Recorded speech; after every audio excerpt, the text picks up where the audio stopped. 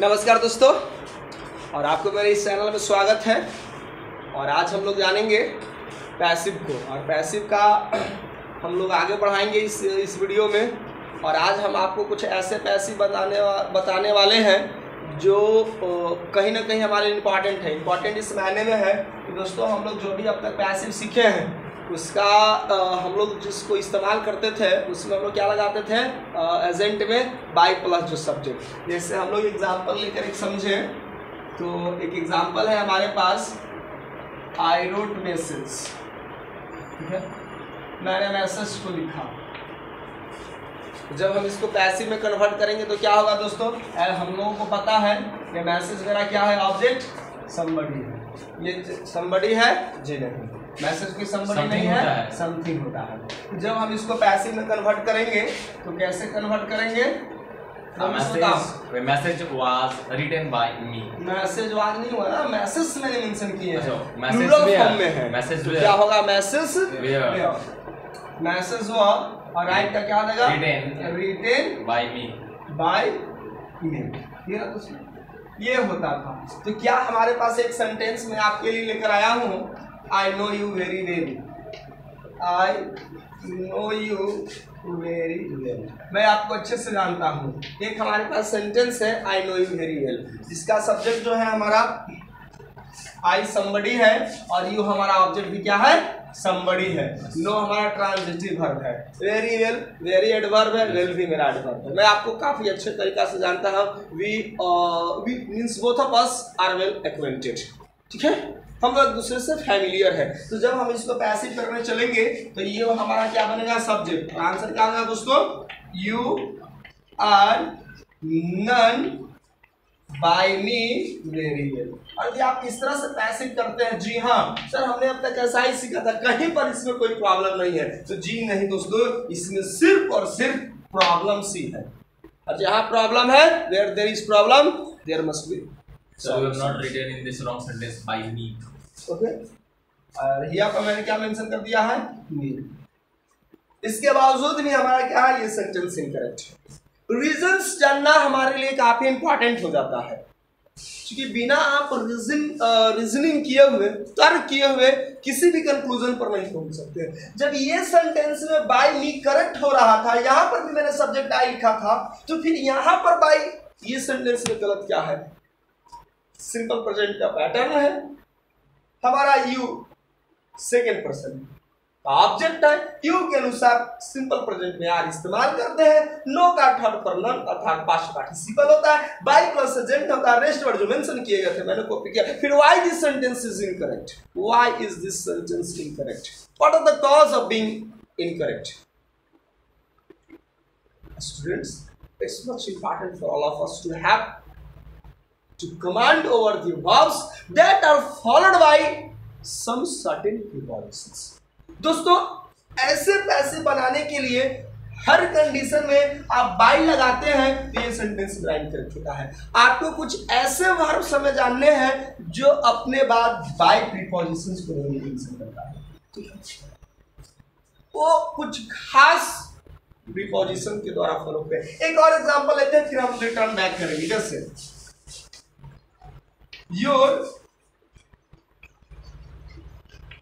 Words soft मी ठीक है। अब यहाँ पर क्या है देखिए योर वर्ड सब्जेक्ट मेंशन मैंने किया समथिंग है आपने जो बोला, और वो मुझे इतना साउंड किया it's unbelievable. I cannot believe this. I cannot imagine imagine all the things happen unexpectedly. I cannot expect that you can do. Incredible. Incredible, you may say. So your word shocked me, and here song that is to home, and me is once again an object I have mentioned somebody, right? When we change that sentence from active to passive, what will be the I was I was shocked by shocked by your words. yours.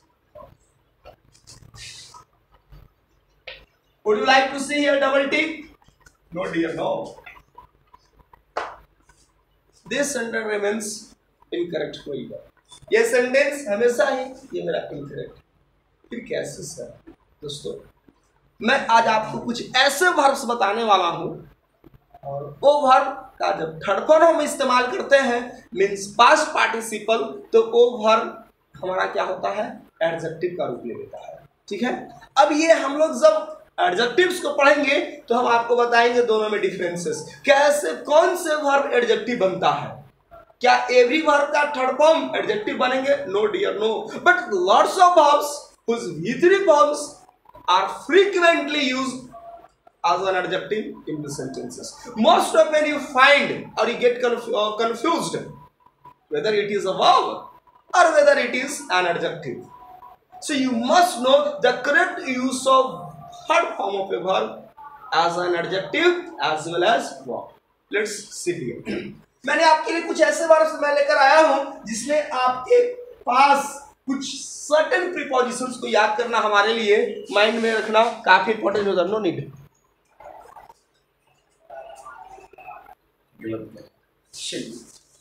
तो ये sentence को हम लोगों ने जाना कि ये भी हमारा इनकरेक्ट है। तो ये सेंटेंस इनकरेक्ट क्यों है दोस्तों? बातें यहीं पर मैं कर रहा था। तो इसके लिए हम आपको बता रहे थे कि कुछ वर्ब्स हैं और वो वर्ब्स अपने साथ खास प्रीपोजिशंस के साथ इस्तेमाल किए जाते हैं। ऐसे में हमारे पास जो वर्ब्स दिखाई दे रहे हैं, मानकर हम चले इसको फ़र्स्ट में फ़र्स्ट ग्रुप में, जिसमें प्लीज़ डिस्गस्टेड क्वारल क्वारल हमारा विगन फॉर्म होगा, ठीक है ना? सेटिस्फाइड डिस्प्लीज और डिस्प्लीज हो जाएगा थर्ड एडजेक्टिव दोनों। तो ये सारे वर्ब्स अपने बाद विद प्रीपोजिशन दोस्तों, इसमें से ये वर्ब भी एज वेल एज एडजेक्टिव्स में। यदि हम डिस्प्लीज कहते हैं तो वर्ब का काम करने लगा? डिस्प्लीज हो गया एडजेक्टिव बन गया, ठीक है? ही इज़ डिस्प्लेस्ड क्या है हमारा? एडजेक्टिव है he tries to displease me God हो गया ठीक है सिमिलर कंडीशन यहाँ पर है डिस्कस में वही होगा प्लीज़ में भी हुआ I am very please to be here and to have you here Sir, may Understand? you repeat? Uh, yes. yes That uh, displeased boy make me displeased. Ha! huh that displeased boy the boy who is already displeased unhappy and also made me Displeased. unhappy. Definitely. So i'm pleased. Most often people when they get chance for addressing they tell i'm very pleased. I'm much pleased today to be here and to see all of you before us. Today is the day. So and so forth. For which purpose we are assembled or gathered here. For which purpose we are here then after we mention so please remember disgust quarrel satisfied and displeased most often always follow the preposition with याद रखेंगे next astonish amaze now look और एक हमारे पास word है shock जो अपने बाद प्रीपोजिशन लेगा एट क्या प्रीपोजिशन लेगा देख रहे हैं दोस्तों I was shocked by her words. No. no. In place of by what will be the right answer? I was shocked at your words. How did you utter these words before your parents? Yeah, I was completely shocked. How did you deliver? Before uttering those words, you must think where you are speaking. Understand? So I was shocked at behavior. दोस्तों, एक और words है, मैंने sentence में मैंने आपसे वादा किया था कि मैं रिटर्न करूँगा। तो सेंटेंस नंबर दो को मैंने सही कर दिया। राइट क्या होगा? एड प्रीपोजिशन और सेंटेंस नंबर वन को मैं अब तक क्लियर नहीं किया कि सेंटेंस के पीछे इनकरेक्ट का रीजन क्या है कॉज क्या है। आइए, मैं उसको भी डिस्कस करता। दोस्तों, याद रखना, हमारे पास वर्ड है लिसन सुनना। कंपेयर कंपेयर करते हैं, तुलना करना।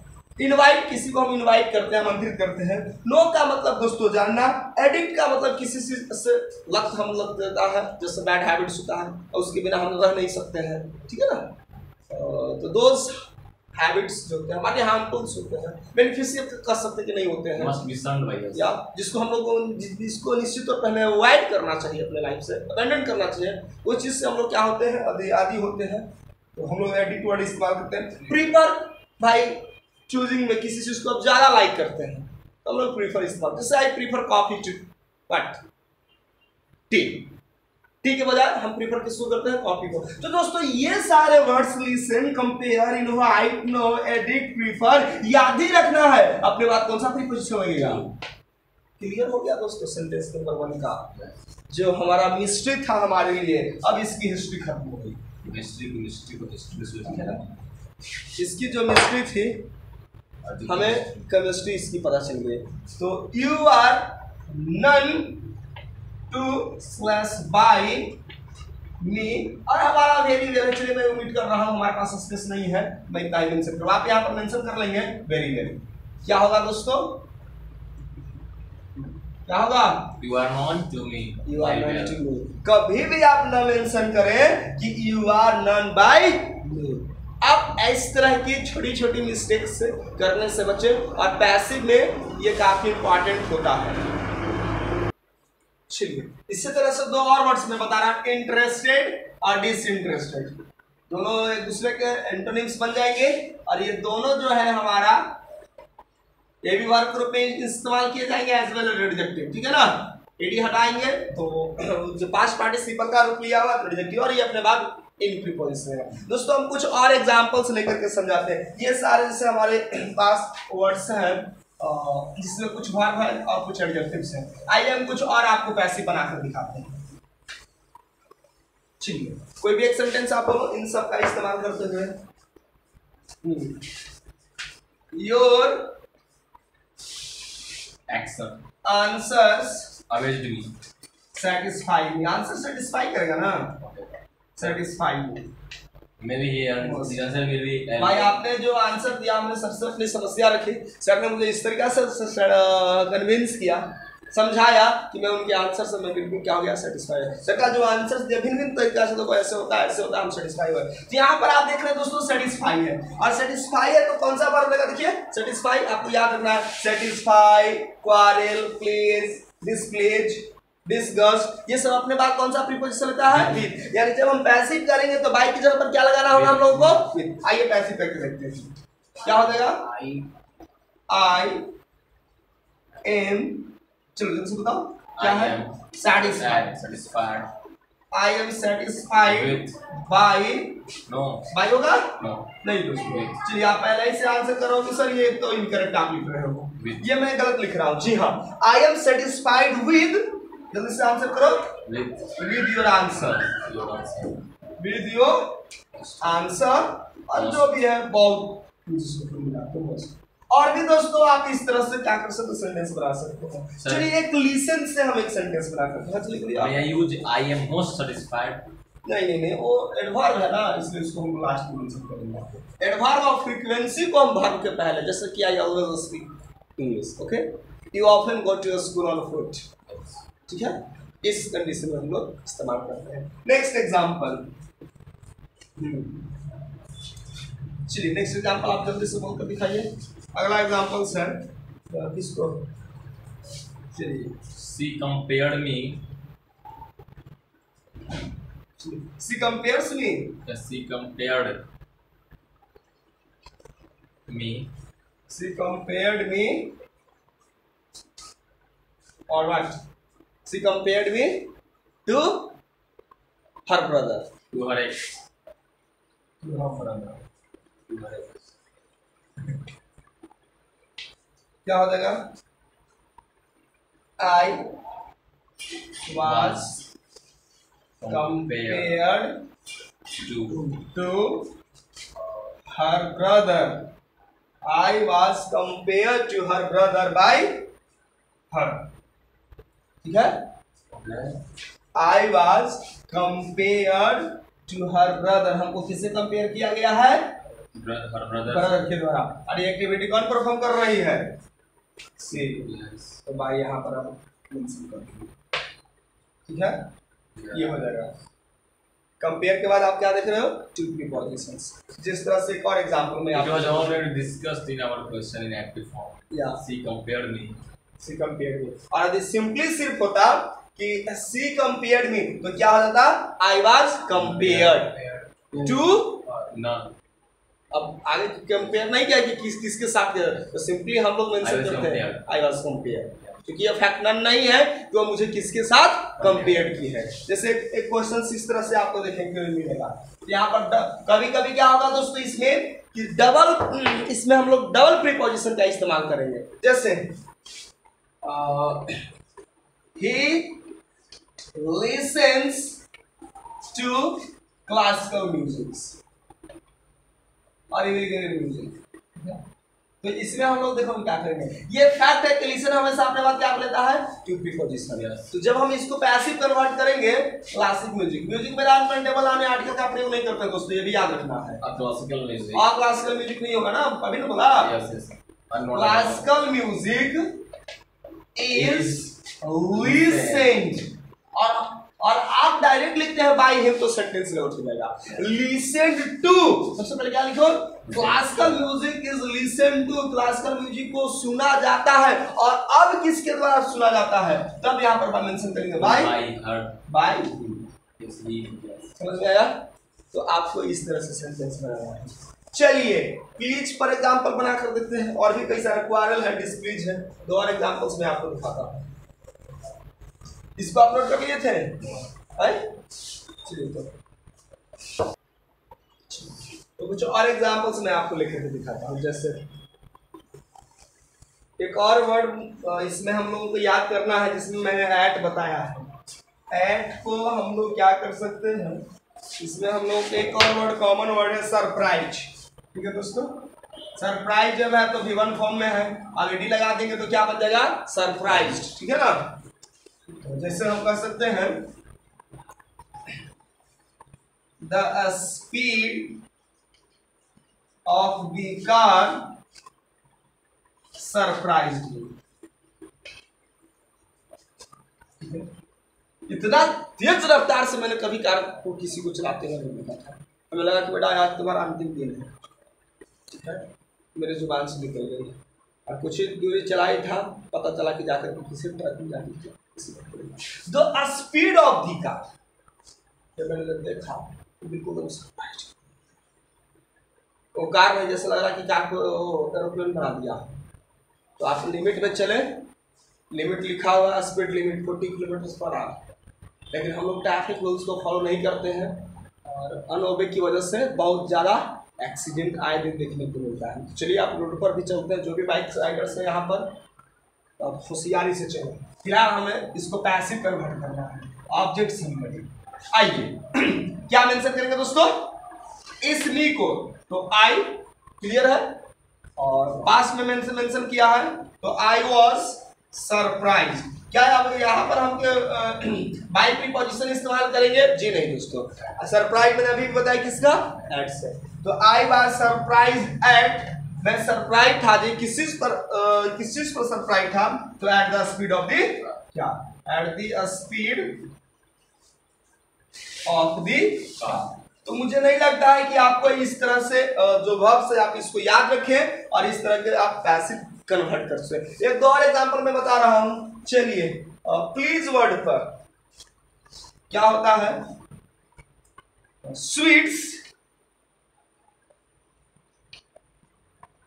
मिठाई का बच्चों को खाना बहुत पसंद है। खैर बच्चे चॉकलेट ज़्यादा पसंद करते हैं आए दिन लेकिन मेरी जो पसंदीदा वो स्वीट्स है।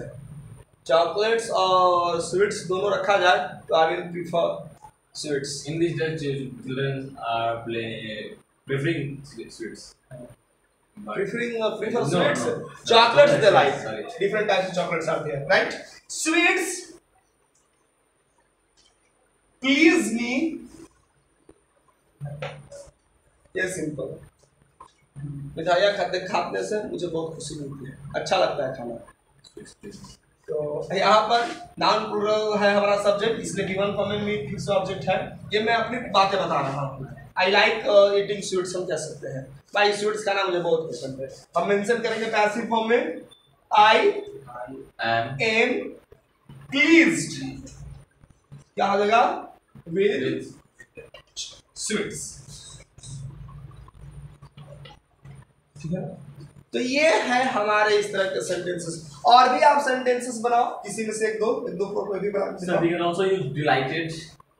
हाँ an adjective but not a verb Uh, as a verb you use yes, you have I to am. say. Del- I am delighted. So I am glad this is an adjective. Understand? Use as a verb because we have to change into passive form. Okay. Okay. Okay. So That- now uh, make uh, some more sentences. Tasting pud- uh, uh, make me delighted. तो match में divided that is the same different things तो हम उम्मीद करते हैं और sentences चलो और रहने दें या फिर आप इस पर और प्रैक्टिस करोगे? और एग्जांपल्स लेना चाहोगे? और कुछ में? I want to jot down. चलो डाउन सो थैंक यू तो चलिए दोस्तों हमें लगता है अब यहीं पर हम लोग आज की क्लास को ओवर करेंगे। और हम लोगों को बाकी जो वर्ब्स बच गए इसी तरह से रूल चलेगा। और आप, मुझे नहीं लगता कि आपको प्रॉब्लम है। प्रॉब्लम की कंडीशन में हर बात मैं आपसे रिपीट करता हूँ। आप कमेंट बॉक्स में मुझे ज़रूर बताएँ, जो भी आपको जिस तरह के फीलिंग्स है, आपका सजेशन हमेशा मेरे लिए काफ़ी इंस्पायरेशन का काम करता है। मैं अपने आप में इम्प्रूवमेंट लाऊँगा। मैं भरपूर इसी तरह की कोशिश करते रहूँगा। चलिए दोस्तों, फिर मिलते हैं अगले वीडियो में। एक नई मज़ेदार टॉपिक के साथ। फ़िलहाल टॉपिक हमारा वॉइस ही रहेगा। उसमें और भी कुछ नई नई चीज़ें बची हुई होगी तो मैं उसको कवर करूँगा। So thanks